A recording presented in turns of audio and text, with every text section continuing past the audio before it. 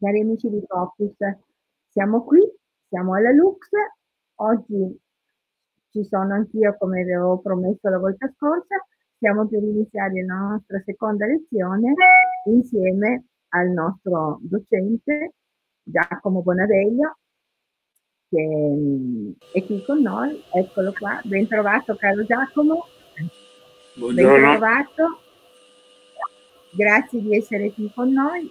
Uh, oggi quindi continueremo questo nostro percorso di conoscenza e di apprendimento di quella che è la, sta- la storia della tradizione vedica e della Bhagavad Gita.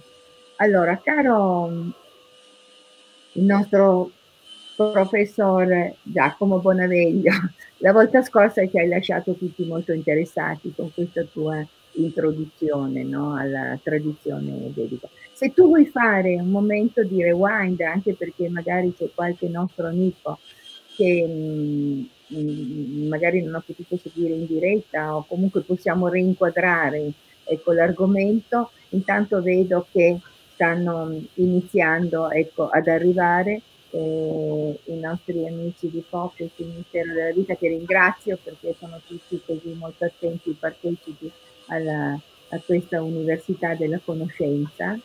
Eh, grazie, benvenuti tutti. Eh, Giacomo, lascerei a te la parola se vuoi riprendere un po' reinquadrare eh, questo discorso per poter poi continuare la nostra lezione oggi.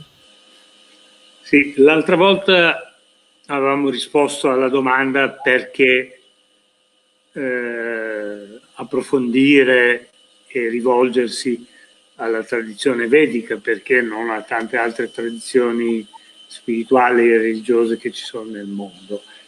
Uh, una domanda è che ed è, ed è l'unica tradizione, importante tradizione, che ha una lunga vita, lunghissima vita, fino a 6, 7, 8 eh, millenni di vita. Secondo è proprio la propensione alla spiritualità eh, del, del, del, subcontinente indiano ehm, che è alla base della tradizione vedica. Eh, in India la spiritualità e religiosità sono parte della vita quotidiana, dai commercianti agli industriali, eh, ci sono tanti esempi di forte diffusione di questo senso della spiritualità. Poi ci sono due messaggi estremamente importanti. Uno è l'impersonalità del divino. Eh, cosa, eh, abbiamo spiegato cosa vuol dire. Eh, un Dio impersonale è un Dio che non è necessariamente identificato con una persona, con eh, appunto Yahweh della tradizione ebraica o, o eh, Dio Padre della tradizione cristiana, è un'entità impersonale in cui ci, si può identificare anche un cosiddetto laico. Basta che creda, come abbiamo detto la volta scorsa, che ci sono dei principi base della nostra civiltà, del nostro mondo, che non cambiano nel tempo, nei millenni anche, e, e nel luogo, da qui all'India, alla Cina, all'America. Um, questo è un, è un, aspetto estremamente importante che allarga fortemente la platea di chi può essere interessato a questo ambito spirituale indiano. Infatti molti lo interpretano, come diremmo dopo, come ateismo. Non è proprio ateismo, poi lo spiegherò dopo la differenza tra impersonalità e ateismo. Uh, l'altra discorso è la grande inclusività senza venir meno al principio di coerenza. Cioè il messaggio vedico è fortemente coerente, però è fortemente inclusivo, non esclude, non scomunica, non scarta niente. È, è tutto nell'ambito di una compresenza dialogica. E questo lo era già dai tempi antichi gli antichi indiani non si sono mai, eh, mai combattuti in guerra, le antiche tradizioni. Ricordiamo che in India nasce non solo il, eh, la tradizione vedica, la, il brahmanismo, poi l'induismo, ma nasce anche il buddismo, nasce il jainismo, nasce il sikhismo. Tutte queste religioni non si sono mai combattute. Abbiamo importato noi occidentali, includendo nell'Islam, eh, l'Occidente, la tendenza al combattimento fra religioni. Infatti ho visto proprio durante una mia visita a Goa delle bellissimi, bellissimi dipinti di lotte che ci sono state sulla costa del Malabar, che è la costa che va più o meno da Bombay, da Mumbai a Goa nel sud, eh, grossi conflitti fra cristiani, soprattutto portoghesi, e islamici, che erano eh, degli invasori che venivano dal nord dell'India. Quindi queste due caratteristiche rendono estremamente attrattiva la, eh, la tradizione vedica, ripeto, l'impersonalità e la tendenza all'inclusività pur in una grande coerenza. Eh, tutta la, eh, la tradizione vedica ha delle coerenze interne molto forti. E poi abbiamo parlato della Bhagavad Gita che è un, una sintesi, non è l'unico libro come vedremo adesso, ma una sintesi della base delle credenze del, dell'insieme spirit, della spiritualità vedica. Adesso... Uh, Quello che Giacomo, mm-hmm. Giacomo mi senti? Sì, sì, C'era un aspetto molto interessante che tu hai sottolineato. Eh, c'era un aspetto molto interessante che tu hai sottolineato la volta scorsa che era eh, la datazione dei Veda. Sì. La uh, datazione, il fatto che siano molto più antichi. E poi sì. abbiamo visto come sono arrivati in Occidente. Mm-hmm. Uh, sì, uh, l'altra volta abbiamo parlato anche del fatto che la scoperta dei Veda come li conosciamo adesso in Occidente arriva solo nell'Ottocento e si è scoperto in quell'occasione anche uh, la cosiddetta civiltà uh, indoeuropea, cioè il collegamento fra uh, il mondo indiano, il mondo del subcontinente indiano e il mondo europeo uh, le comunanze linguistiche e ovviamente anche culturali. Um, fra cui anche la teoria che non è accettata da tutti ma sembra abbastanza consolidata che noi europei della civiltà eh, europea deriviamo da popoli provenienti dal bacino dell'Indo, dalla cosiddetta civiltà dell'Indo, del fiume Indo nel nord del, del, del, subcontinente indiano che attualmente fa parte del Pakistan. Uh, la, uh, questa... Quanti millenni eh, sono? Scusa? Dicevo già, Giacomo, eh, quanti millenni eh, precedenti alla nascita di Cristo, quindi della, anche della nostra cultura, eh, così religiosa. Eh, dobbiamo data... tornare indietro ecco, per trovare la nascita ecco, dei... La datazione... da quanto sono stati? La datazione è molto difficile perché non ci sono tracce storiche fino a queste antiche date, ma in tradizione orale eh, il mondo vedico si data fino a eh, 5, 6, 7 millenni fa, quindi 4, 5, 6 eh, mila anni prima di Cristo. Ovviamente lo scritto è, è più vicino a noi circa a quando la scrittura è stata inventata. Eh, cioè prima questi testi che vedremo adesso erano tramandati per via orale, come nel resto dell'antichità anche occidentale. Allora, eh, la volta scorsa la volta scorsa tu appunto hai spiegato come siano arrivati, come sia arrivata in Europa questa cultura dei Veda, sì. ma eh, ehm, quindi come insomma questa tradizione è arrivata ecco qua da noi. Ma mm. quali sono i testi, testi di riferimento, sia in ambito filosofico, psicologico, spirituale, che, che riguardano appunto la tradizione vedica? Allora, il nome vedico deriva dai Veda vere e proprie. Adesso se andiamo alla eh, prima figura, pagina 4, eh, del, sì. eh, così lo, lo proiettiamo, lo, lo rendiamo visibile. Ci sono i, i, i libri di base eh, che appunto eh, sono i libri più antichi, quelli appunto che datano fino a sei millenni, sei oltre millenni fa, in tradizione orale, sono i quattro Veda. Possiamo mettere la slide?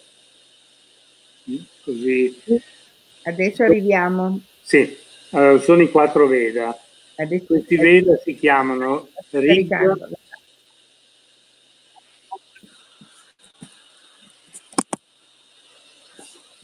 Questo, scusate. Sta andando, eh? Sì, sì. Perché, ecco, vediamo se riusciamo a portarla su così. Eh, sì, la lasciamo a schermo intero. Allora, sono così quattro... tu lo puoi spiegare meglio. Ok. Sono quattro, se si può espandere, eh, ecco, perfetto. Uh, sono uh, Ecco, questa è la pagina, se andiamo alla pagina 4, è la quarta pagina, questa è la pagina 1. Uh, eh, allora, sono quattro i Veda, come dicevo, di base, si chiamano Rig, Yajur, uh, Sama e Atharva Veda. Okay? Uh, I Veda si distinguono in tre parti, eh, la prima parte è la compilazione di mantra. I mantra sono degli inni eh, ed è chiamata il mantra Bhaga. Poi c'è il Brahmana Bhaga, Bhaga che, come nella tradizione eh, cristiana, è eh, legata alla ritualistica. Ecco, bisognerebbe spostarci alla pagina 4. Uh, eh, allora, si, possiamo andare avanti pagina 4. Eh, la terza parte si chiama La Ragnaka, che è il vero testo di, che parla di questa spiritualità eh, antica. Eh, ecco, perfetto. Questi eh, dia- eh, e consistono in dialoghi fra eh, i maestri vedici e i discepoli. Già questo dà un messaggio significativo, cioè qui non c'è un Dio che detta delle cose e un suddito che si chiama Mosè o che si chiami uh, Abele, che si chiami chiunque, uh, che uh, accetta supinamente le regole. C'è un maestro che parla e ci sono degli, dei discepoli che ascoltano pongono domande e dialogano con il maestro. Quindi già questo è un, è un esempio della cosiddetta tradizione eh, dialogica eh, della, della, del mondo vedico. Ci sono dei dialoghi continui, lo vedremo fino a, a, a, insomma in tutta la, eh, la tradizione, lo vediamo nella Bhagavad Gita, che è il dialogo fra Krishna, che rappresenta il divino, e Arjuna, che rappresenta l'umano, che ascolta, delle volte rifiuta anche, ma dialoga con il maestro, fa delle domande e, e, e contesta anche delle volte. E, ed è esattamente il caso dell'Upanishad. Tra l'altro Upanishad, per chi fosse interessato, vuol dire sedersi vicino. Quindi anche questo anche nel nome c'è una radice di profonda, profondo dialogo. E la domanda che volevo farti, ecco, che cosa vuol dire? Perché noi sovente troviamo Upanishad e mm. quindi cioè, chiedevo appunto se potevi spiegare il significato e poi dopo insomma, ne parleremo di come sono nati ecco, questi, questi libri. Ti lascio andare, lascio spazio. Sì. Allora, eh, come dicevo, Upanishad vuol dire sedersi vicino perché, e lo vedremo in, eh, in figure successive, eh, ci, si vede il maestro che è un po' più alto, ma non su un trono, come capita nella nostra tradizione occidentale, che è un po' più in alto, circondato molto da vicino dai suoi allievi, che, ripeto, dialogano con lui, gli fanno delle domande, ma lo, delle volte lo contestano sempre amichevolmente e amorevolmente ma gli danno un'altra visuale.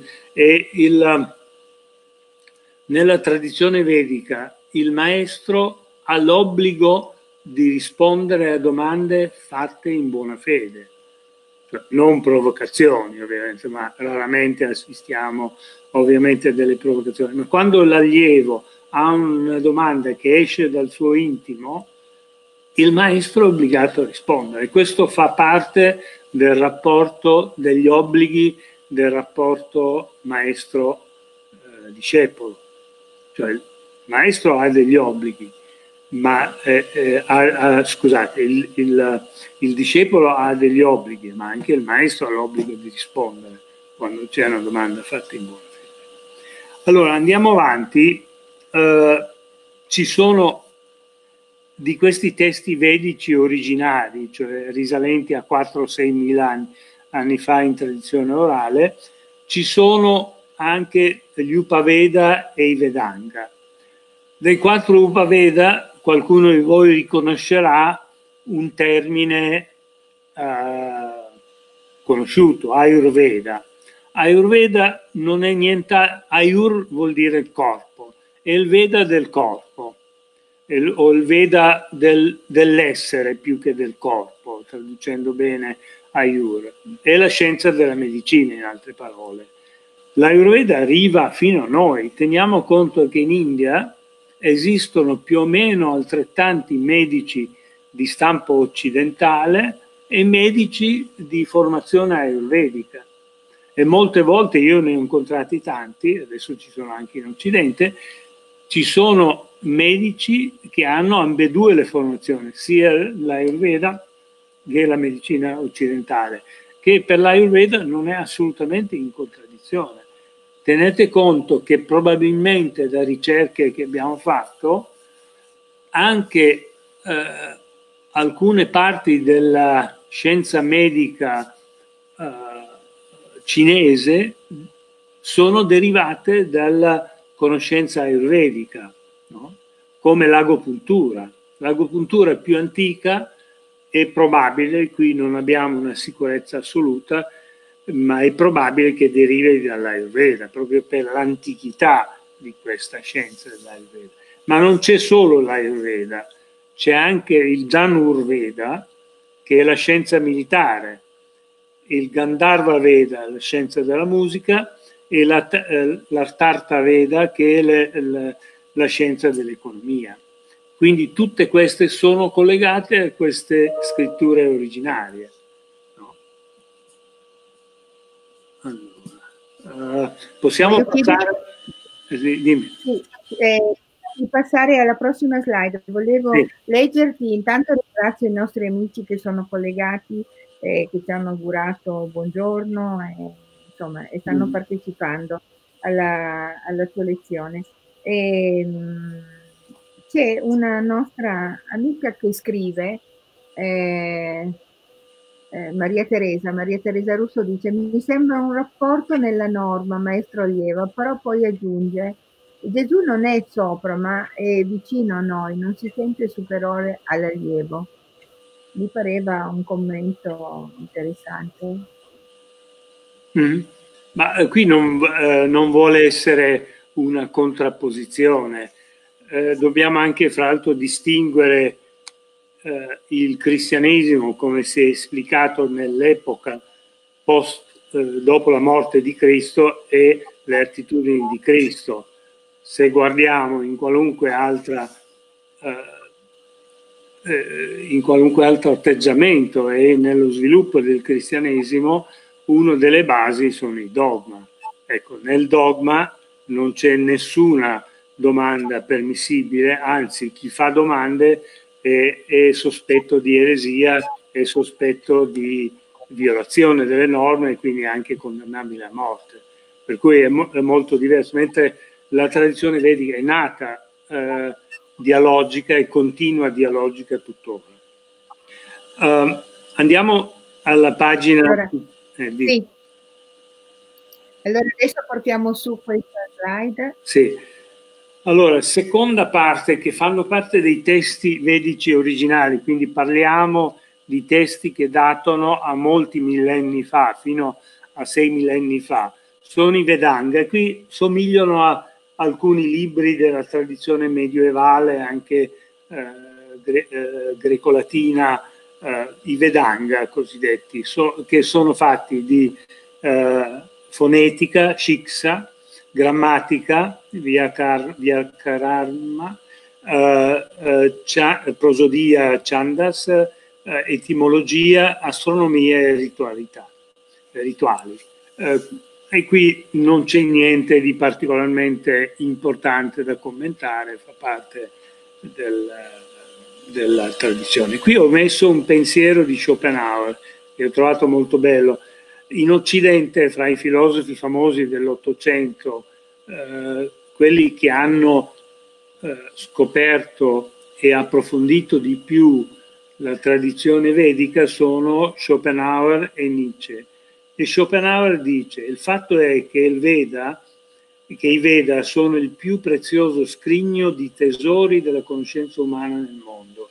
Contengono tutto ciò che l'uomo può concepire e anche riferimenti a, a ciò che va oltre l'umano. Quindi è una bellissima eh, eh, specificazione di ciò che è il pensiero vedico. Una caratteristica del pensiero vedico che si contrappone, eh, in questo caso si può dire, a quello occidentale, che non c'è, si contrappone, si differenzia meglio detto, che non c'è appunto una contrapposizione fra scienza e eh, filosofia e soprattutto teologia. Cioè la conoscenza del divino mi porta anche alla scienza e, e la scienza è, è molto approfondita. Per dire nell'Ayurveda è vero che non seguivano i protocolli ovviamente scientifici, ricordiamo che l'Ayurveda è iniziata da vari millenni prima di Cristo, forse eh, fino a sei millenni fa. L'Ayurveda ha una capacità di selezionare le varie cure attraverso un metodo, chiamiamolo parascientifico in cui eh, si sperimentava le varie cure, i vari trattamenti su una base già molto larga. Si stima che già all'epoca eh, dell'arrivo di Alessandro in, in, India, cioè del 300 a.C., la popolazione indiana fosse di 150 milioni di persone, quindi eh, era una base, bas, vasta base di sperimentazione su cui è cresciuta la fase scientifica. Comunque, in conclusione, scienza e teologia non sono mai in contrapposizione. Andiamo alla prossima slide e parliamo di, delle Upanishad. No? Quello che... Volevo chiederti, Giacomo, sì, Giacomo mi senti? Eh, sì. Volevo chiederti adesso del, del tuo approfondimento sulla Ayurveda. Mm. Ecco. Ehm, L'Ayurveda e l'Occidente. Ecco. Secondo mm. te eh, si è riusciti in qualche modo a trasferire anche in Occidente quelli che sono i presupposti della Ayurveda oppure è solo come dire una moda, qualcuno lo scopre come beneficio per un massaggio, insomma, Ayurveda ah, non è solo questo, o per un'alimentazione. Ecco. Allora, io suggerirei, se tu sei d'accordo, di fare una serie di lezioni sull'Ayurveda perché merita proprio.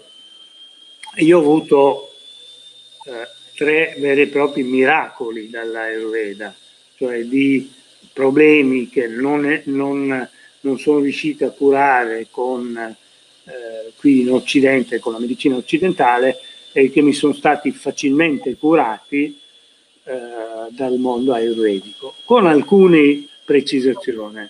L'Ayurveda, eh, la medicina ayurvedica ha raramente, anzi io non ho mai incontrato delle controindicazioni, mentre tutte le medicine occidentali, eh, non, eh, che, che, sono soprattutto di, eh, di provenienza chimica, hanno delle forti controindicazioni, infatti per dire adesso i vaccini che si stanno sperimentando contro il coronavirus vanno sperimentati soprattutto sotto l'aspetto di effetti collaterali.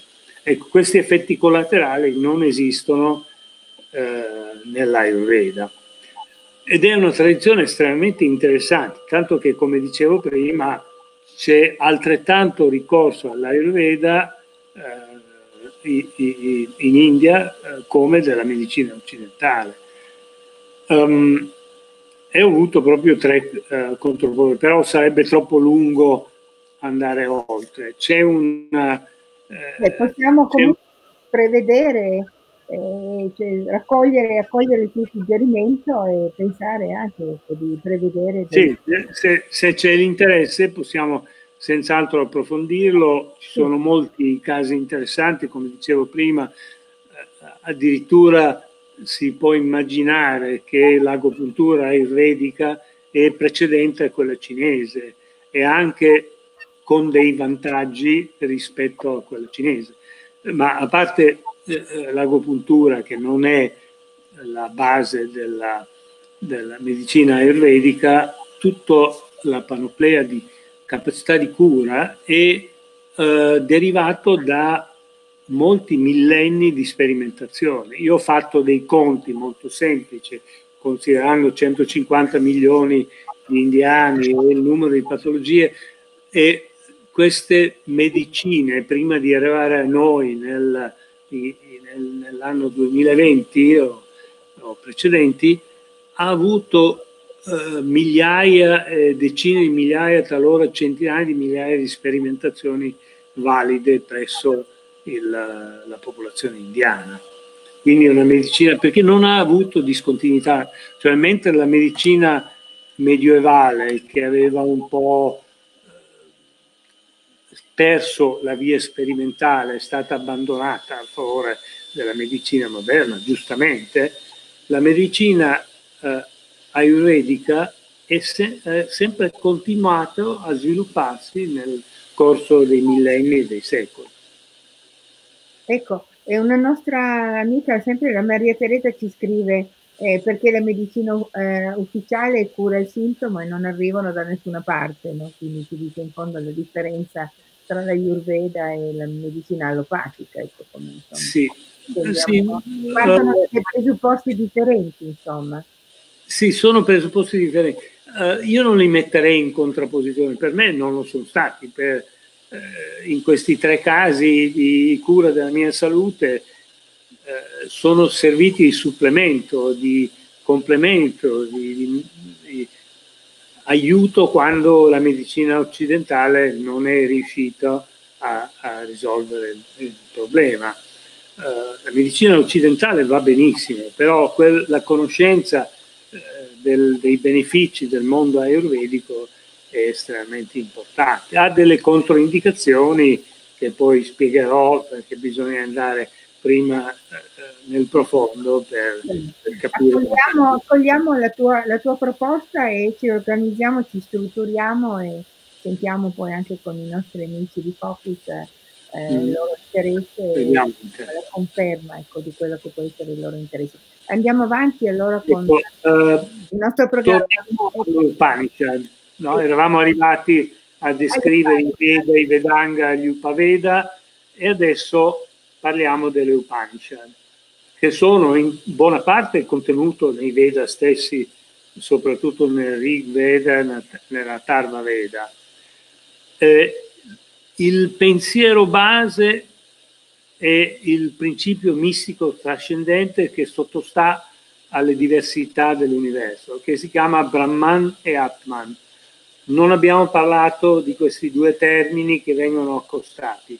Brahman è il nome del Dio universale, ripeto, che può essere personale per alcuni, chi crede nel, nel, nel percorso personale, che è quello delle religioni occidentali, l'Atman invece io lo chiamo quella scintilla divina, utilizzando un termine che usa nel bellissimo che usa eh, Friedrich von Schiller nell'inno della gioia, cioè eh, la scintilla divina che è dentro di noi. Cioè noi abbiamo Dio dentro di noi e si chiama Atman uh, o Atman. Uh, e questo è il messaggio di base di tutte le Upanishad. Le Upanishad sono il libro di base che sottende a tutto il, il pensiero filosofico vedico e come è scritto qui non esclude neanche l'ateismo. Allora qual è la differenza tra ateismo e impersonalità? io penso che questo sia un discorso importante. Uh, ateismo è quando diciamo che non c'è Dio. Allora, anche qui possiamo distinguere fra non c'è nessun principio divino, cioè tutto, eh, come credono i materialisti, e tutto deriva dalla materia e tutto si esaurisce nella materia, non c'è alcun principio divino. Eh, questo è l'ateismo più estremo, ma in genere l'ateismo è quello che non crede in un principio divino raffigurato in una persona, che dà degli ordini, che dà dei comandamenti, che dà delle disposizioni, che dà dei castighi. Ecco, questa forma di ateismo è eh, contemplata e nella tradizione vedica ed è meglio chiamarla impersonalità, in cui noi crediamo in principi unici, divini, originanti, che non cambiano, eh, ripeto, come ho detto prima, eh, nel tempo e nel luogo, e eh, e la loro uh, e, e, e l'effetto che ha su di noi. Ora, se noi guardiamo quello che chiamiamo un normale laico occidentale, un laico occidentale che ha una fiducia nel mondo, che non è un materialista puro, crede in alcuni principi di base. Ecco, quello è già fa parte della tradizione vedica dell'impersonalismo.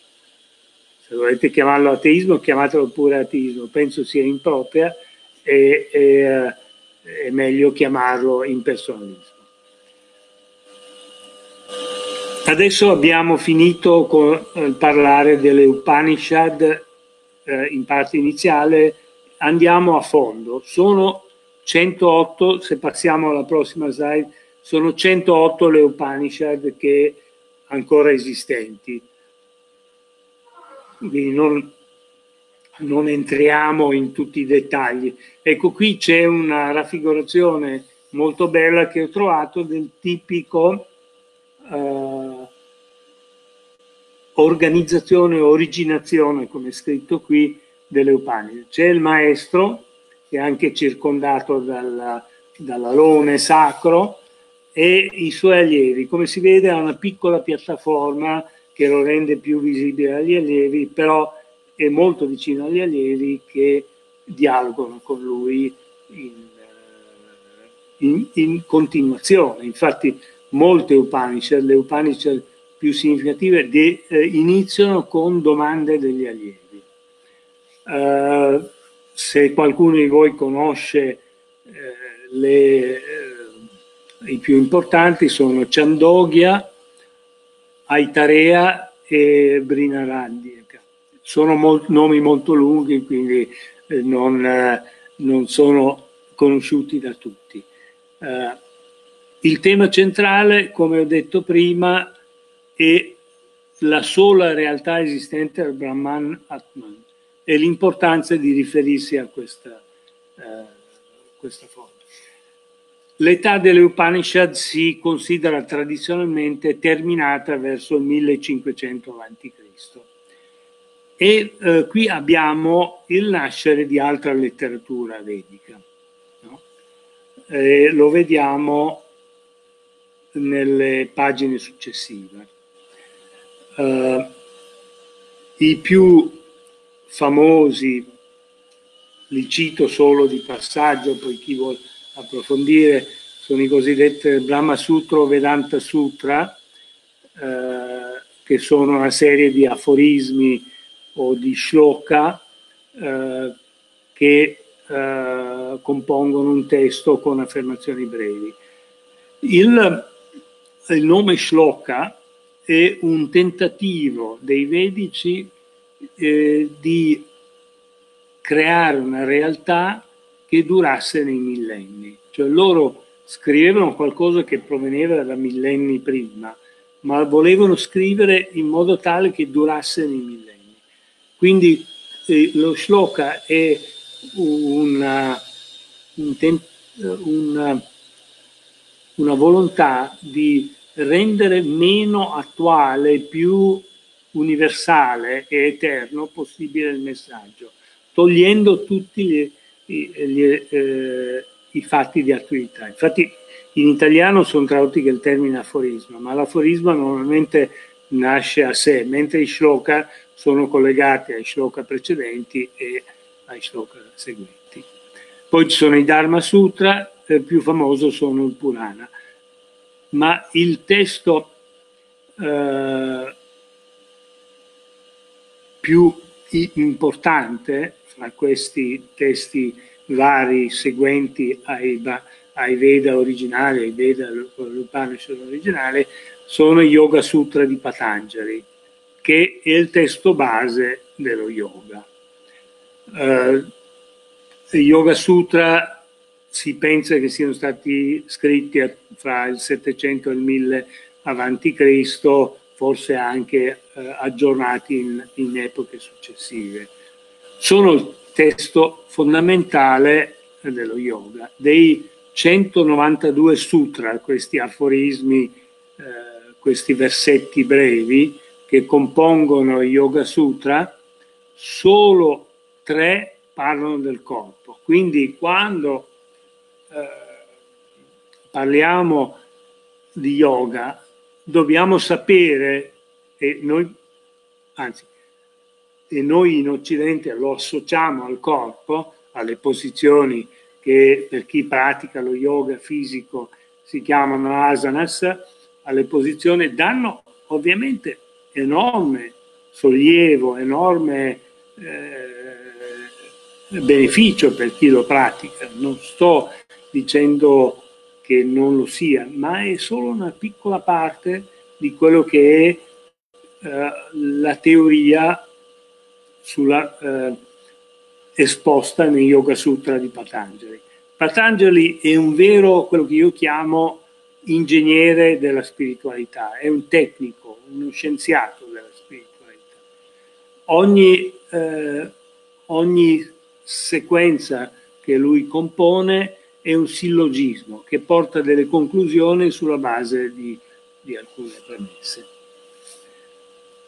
Allora, arriviamo adesso ai due poemi fondamentali dell'induismo che si chiamano Itihasa, che troviamo nella pagina seguente, eh, e che ci sono familiari, molti di voi lo conosceranno, come Ramayana e Mahabharata. iniziamo nel Mahabharata e compreso anche la Bhagavad Gita, poi lo vediamo dopo. Iniziamo dal Ramayana o Ramayana, come lo dicono, come lo chiamano eh, in, in India. Il Ramayana è la storia del no, nobile Rama e della regina Sita, quest'ultima rapita dal re demone Ravana. È, è, la storia della vittoria del bene e del male, anche eh, Mahabharata parla di quello. Sono, è un poema estremamente lungo, sono 20.000 distici completi, originalmente in, in sanscrito. Anche queste, vediamo, sono composte di quattro parti. Uno parla del Dharma, il termine Dharma sarà noto a molti, qui eh, in questo senso qui è il dovere morale. Eh, dharma è qualche volta eh, tradotto con termine destino. Eh, arta, il retto possesso materiale, eh, non c'è eh, un rifiuto del possesso materiale o della ricchezza, però c'è il senso del retto possesso materiale, ciò che è giusto avere pur in un'aspirazione superiore. Il kama, l'amore e il moksha è l'ultimo punto che porta all'autorizzazione. Quindi queste sono le, le quattro componenti che sono eh, incluse nel Ramayana come obiettivi di vita. Adesso arriviamo al Mahabharata. Uh, il Mahabharata è ancora più lungo del Ramayana. Posso interromperti sì. Giacomo un momento? Volevo, ehm, prima appunto tu facevi riferimento al Dharma come un po' come destino. Ecco, mm. per noi occidentali invece passa molto il termine karma. Sì. Mm. Karma vuol dire azione, è il destino sotto le nostre mani. Eh, da, allora, eh, per chi si sia avvicinato alle denominazioni indiane, eh, ed è abbastanza logico, vede, vede, che soprattutto dal punto di vista spirituale i termini sanscriti hanno delle accezioni molto varie, molto vaste rispetto a quelle occidentali. In, eh, normalmente comunque karma è proprio l'azione, quello, quella parte del destino che so, sotto il nostro controllo. Il Dharma invece... Con l'espletamento del libero arbitrio, quindi vuoi dire. Esatto. Cioè, nel karma viene coinvolto molto il nostro libero arbitrio. Assolutamente sì. Eh, assolutamente. Il libero arbitrio non è messo mai in discussione, non c'è nessuna predestinazione. Ci sono dei limiti in cui operare. Uno è il Dharma universale, cioè se, infatti esiste un termine molto bello che si chiama Svadharma, simile all'italiano, che è il suo Dharma, cioè che, ciò, ciò, che è no, dentro di noi. Se questo Dharma non coincide con il Dharma universale, mm. con il destino del mondo, cioè se cerchiamo di remare contro il mondo e fare le cose che non ci sono proprie, ecco, allora sì che ci, ci facciamo del male, ecco, per, per, usare un termine. Dire che è molto contemporanea questa riflessione. Esatto, quindi è molto importante, infatti ho tenuto un seminario tempo fa che parlava proprio dello Swadharma, determinare eh, il proprio Dharma. Chi riesce a capire il proprio Dharma riesce a vivere, cioè sapere ciò che deve fare, ciò che deve fare non per obblighi imposti dall'esterno, ma per fatti legati alla nostra natura, alle nostre caratteristiche. Ciò che è il nostro obbligo verso la società, chi lo capisce e sa assolverlo bene vivrà una vita molto più felice e piena di successi rispetto a chi non lo sa. Grazie, ti lascio andare avanti. Ecco, eh, stavo illustrando il Mahabharata. Il Mahabharata è stato anche oggetto di un film eh, che è stato, mi sembra, 20-30 anni fa, da Peter Brooks, un film molto lungo che parlava della saga del Mahabharata. Cos'è il Mahabharata? È la storia, ecco, bisogna andare alla pagina successiva, uh, Anna, uh, è la storia, prima di tutto è una cosa, il Mahabharata è enormemente grande, è il libro più grande uh, del mondo conosciuto. Sono, anzi, sono 18 libri con 110.000 distici, 200.000 linee eh, e 15 volte la dimensione della Bibbia e 9 volte quella dell'Iliade e dell'Odissea insieme. Ed è la storia eh, della, di una guerra fra due fazioni rivali di una famiglia re, eh, regnante che si chiamano i Kaurava e i Pandava. E racconta, sono centinaia di, di storie, di migliaia di personaggi, centinaia, migliaia di personaggi eh, che si intrecciano in mille maniere. Ci sono tante storie, eh, mentre noi abbiamo le favole di Esopo, si raccontano molte delle favole del Mahabharata, anche del Ramayana ai bambini. Cioè, ce ne sono tante che sono molto semplici per essere, in modo da essere spiegati ai bambini. Ecco, il, la Bhagavad Gita è un racconto che si trova proprio in mezzo al Mahabharata, cioè in mezzo a questo enorme libro, proprio nel bel mezzo, si colloca la Bhagavad Gita. Uh, la Bhagavad Gita vuol dire eh, che, che, è quello di cui parliamo, è il testo, perché prima di tutto bisogna chiedersi perché è il testo più conosciuto sia dagli indiani sia quello più apprezzato dagli occidentali.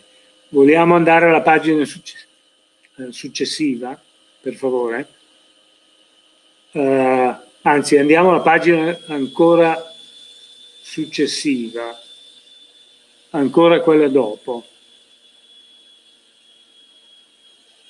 Eh, ancora quella dopo. E poi torniamo sulle pagine precedenti. Allora, fra l'altro si scrive Gita per la, ancora quella dopo, grazie. Uh, Bhagavad, uh, Gita si scrive Gita, non ho cambiato la grafia in italiano eh, noi rispetto all'inglese abbiamo eh, la eh, GI eh, molle, mentre in inglese è dura, quindi si pronuncia Gita, comunque la, pronun la pronuncia in sanscrito è Gita, e anche una Gita volendo. Ecco quella pagina lì, benissimo. Allora, eh, e deriva, si rifà alle Upanishad. La, la, domanda, quello che facevo prima, è perché viene considerato sia dagli indiani uh, sia dagli occidentali come il testo base? Perché è un testo, è un poema sacro. Infatti nell'ambito del Mahabharata che è anche un poema sacro. Ha degli aspetti poetici, ma dà degli uh, insegnamenti di vita vissuta molto profondi. Uh, la Gita, la Bhagavad Gita o Gita, come molti la chiamano, è composta da eh, 18 capitoli.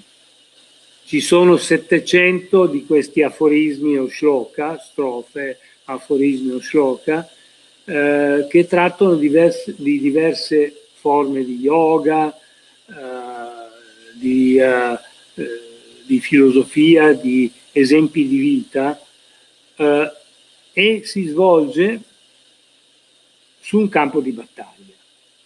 Que in questo campo di battaglia si innesca un dialogo che è, è alla base della Bhagavad Gita fra Krishna, che rappresenta il Dio, il principio divino, e Arjuna, che è un re guerriero che deve combattere questa battaglia